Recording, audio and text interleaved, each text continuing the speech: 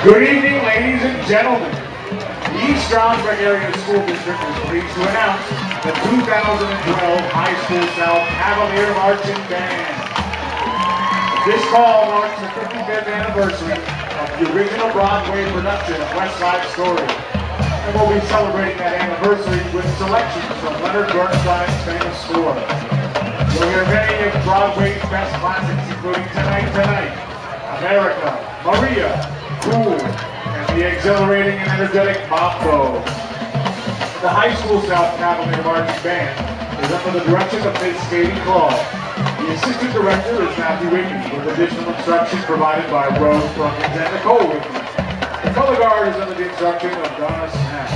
Production instruction was provided by Brian McNulty. Additional choreography assistance was given by Mick Mama Larder. Ladies and gentlemen, the Cavalier Marching Band.